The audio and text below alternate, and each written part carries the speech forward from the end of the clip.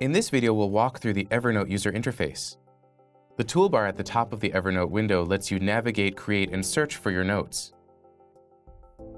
If you have more than one Evernote account, you can switch between them by clicking on your name.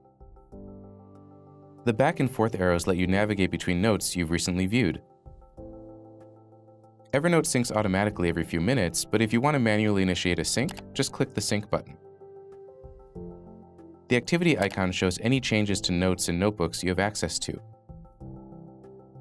If you want to create a new note in the notebook you're currently viewing, just click the New Note button. To start a new chat with a coworker, click the New Chat button. The search bar lets you find your notes by typing in what you're looking for. The sidebar on the left of the Evernote window lets you navigate between sections within Evernote. Work Chat shows you a list of chats between you and the people you're sharing notes with. Your most recent chat is listed at the top of the list, and you can search for participants in a chat or text within a chat. Shortcuts give you one-click access to notes, notebooks, and tags that you need to use frequently. You can drag any item directly to your shortcuts for fast access.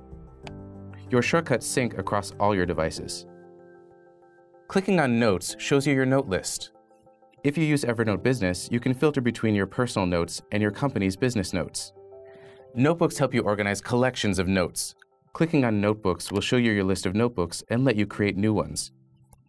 If you're using Evernote Business, you can filter between your personal notebooks and your company's business notebooks. Tags let you create filters for your notes, such as location, status, or person. Clicking on the tag list will let you view all your current tags and let you create new ones. If you're using Evernote Business, you can filter between your personal tags and your company's business tags. If you're using Evernote Business, you'll see the name of your company in the sidebar. When you click on it, you'll go to your company's business home, where you can view your team members, the content they've shared, and search for content you're looking for. Evernote automatically attaches location data to notes as you create them. When you click on Atlas, you'll be able to see where in the world your notes were created. Go beyond the Evernote app by clicking on Market, where you'll find products to extend Evernote's functionality, along with tools to help you be more productive.